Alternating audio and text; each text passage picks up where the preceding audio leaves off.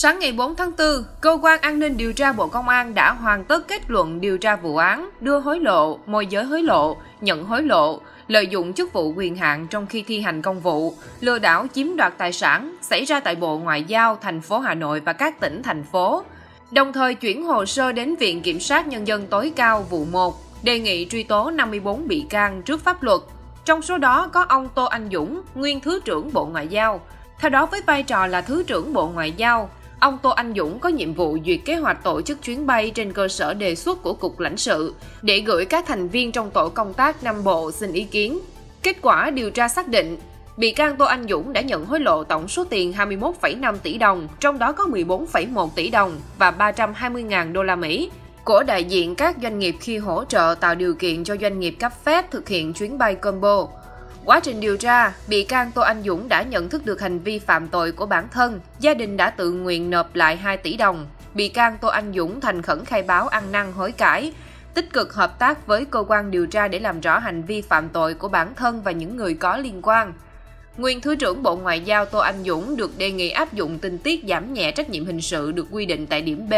STVX Khoảng 1, Điều 51 Bộ Luật Hình sự và Nghị quyết 03 trên 2020 trên NQ HDTB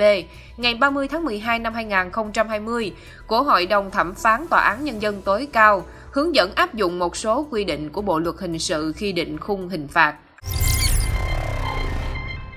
Nhiều tháng nay, giếng nước bỏ quên lâu năm của gia đình anh Đoàn Ai Cập thôn Bình Minh, xã Phan Hòa, huyện Bắc Bình bỗng nhiên trở thành nơi nương tựa cho hàng chục hộ dân địa phương do bị thiếu nguồn nước sinh hoạt.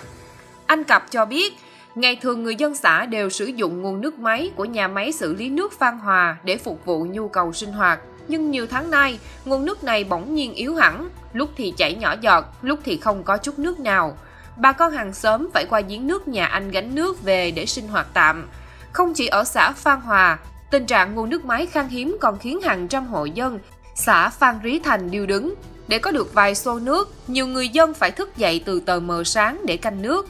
Theo tìm hiểu, nhà máy xử lý nước Phan Hòa do Ban Quản lý Công trình Công cộng huyện Bắc Bình quản lý, vận hành và chỉ có công suất tối đa 500 đến 700 mét khối một ngày đêm, nhưng lại phải gồng mình để phục vụ cho khoảng 2.600 hộ dân xã Phan Hòa và hai thôn của xã Phan Trí Thành – Đại diện Ban Quản lý Công trình Công cộng huyện Bắc Bình thừa nhận, hiện nhà máy nước đã xuống cấp, năng lực chỉ đáp ứng một nửa nhu cầu của người dân. Mặc dù đơn vị quản lý nhà máy nước đã phải mua thêm nước từ chi nhánh cấp nước Bắc Bình thuộc công ty cổ phần cấp thoát nước Bình Thuận, nhưng vẫn không đáp ứng đủ nhu cầu của người dân do hệ thống ống đấu nối không phù hợp, nước không thể bơm đi xa, Trước thực trạng trên, Ủy ban Nhân dân tỉnh Bình Thuận đã chỉ đạo các ngành chức năng nghiên cứu, tham mưu chuyển giao nhà máy xử lý nước Phan Hòa cho công ty cổ phần cấp thoát nước Bình Thuận quản lý để nâng cấp, mở rộng hệ thống cấp nước nhằm cung cấp ổn định nguồn nước sinh hoạt cho nhân dân hai xã nói trên. Ông Nguyễn Minh Trí, Giám đốc chi nhánh cấp nước Bắc Bình cho biết, Năm 2020, ngay sau khi có chủ trương của Ủy ban Nhân dân tỉnh, đơn vị đã tiến hành khảo sát sẵn sàng tiếp nhận nhà máy, nhưng đã 3 năm qua do nhùng nhằn về thủ tục pháp lý, nhất là công tác định giá tài sản để chuyển giao, nên chưa được giải quyết ảnh hưởng lớn việc cấp nước sinh hoạt cho người dân.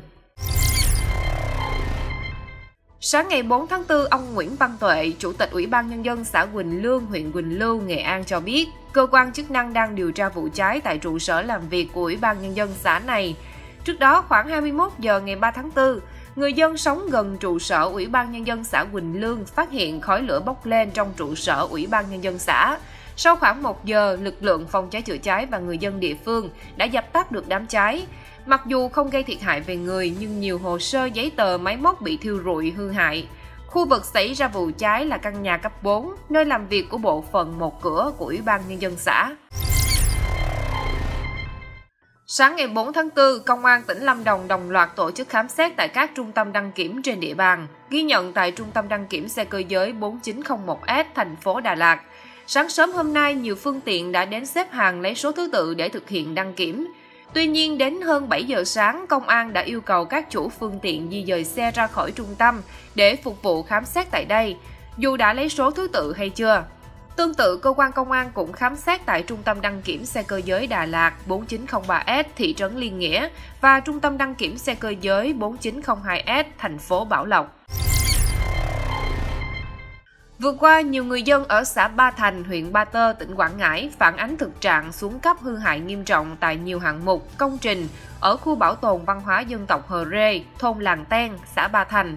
Công trình này có vốn đầu tư 10,5 tỷ đồng, song cách tiếp cận chưa phù hợp khiến quá trình khai thác phát sinh bất cập gây lãng phí. Theo quan sát, khu nhà sinh hoạt chính đóng kín cửa đã lâu, phía trong phủ bụi, nhiều băng ghế có dấu hiệu xuống cấp. Tại gian trưng bày tầng dưới không có bất kỳ sản phẩm truyền thống nào, chỉ thấy chất đầy các thùng bia bình nhựa. Ba khu nhà truyền thống lợp bằng mái tranh đều đang xuống cấp mục nát. Tại các bậc thang lên nhà sàn làm bằng gỗ đều bị mối mọt gãy vỡ. Hệ thống điện quạt bỏ hoang dần hư hại. Trong 5 năm sử dụng, công trình chỉ được đưa vào phục vụ vài lễ hội, sau đó đóng bít cửa. Ông Trần Văn Dũng, trưởng phòng văn hóa thể thao huyện Ba Tơ, tỉnh Quảng Ngãi cho biết, trước đây công trình do Sở Văn hóa Thể thao Du lịch tỉnh làm chủ đầu tư, sau đó giao về huyện xã quản lý năm 2018. Quá trình đầu tư, tất cả thủ tục thiết kế tư vấn đều do Sở Văn hóa Thể thao Du lịch tỉnh làm. Chúng tôi không hề tham gia. Hiện các công trình xuống cấp nhưng chưa thể khắc phục do tìm không ra vật liệu,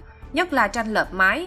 Tới đây chúng tôi đề xuất với các sở ngành nghiên cứu, điều chỉnh thiết kế kỹ thuật để khắc phục công trình theo hướng cách tân, thay thế bằng vật liệu mái tôn, ngói, bê tông. Chiều ngày 3 tháng 4, Công an thị xã Bến Cát, tỉnh Bình Dương đang tạm giữ 7 đối tượng để điều tra về hành vi gây rối trật tự công cộng, gồm Bùi Ngọc C, 28 tuổi, quê Thanh Hóa, Huỳnh Văn Chí N, 22 tuổi, quê Cà Mau, Đoàn Thanh Tê, 38 tuổi, Ngân Văn A, 22 tuổi, cùng ngụ khu phố Phú Nghị, phường Hòa Lợi, thị xã Bến Cát, Bùi Văn Tê, 27 tuổi, Phạm Minh H, 22 tuổi, Lê Thành B, 18 tuổi, cùng ngụ phường Định Hòa, thành phố Thủ Dầu Một.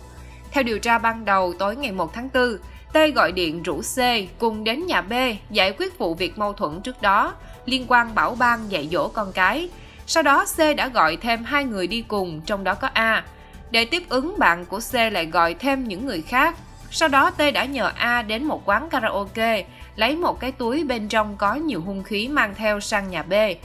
Khoảng 5 phút sau thì lực lượng công an phường Hòa Lợi tuần tra trên địa bàn và kịp thời ngăn chặn sự việc. Tại đây, lực lượng phát hiện trên xe máy của VA có một túi màu đen, bên trong có kiếm, đoạn tuyếp sắt, cây gỗ tròn, nhiều dao tự chế bằng kim loại. Tiếp tục kiểm tra trên xe của T, lực lượng phát hiện một khẩu súng màu đen kiểu rulo bên trong hộp đạn có 6 viên đạn, một cây kiếm bằng kim loại.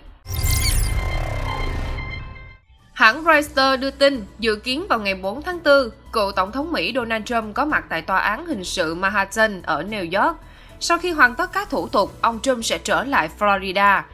Theo thông tin đội ngũ tham gia chiến dịch tranh cử 2024 của ông Trump, cựu Tổng thống Mỹ dự kiến có bài phát biểu cùng ngày sau khi ra tòa. Để đảm bảo an ninh, cảnh sát New York dựng hàng rào kim loại xung quanh tháp Trump và chặn những con đường gần trụ sở tòa án hình sự Manhattan.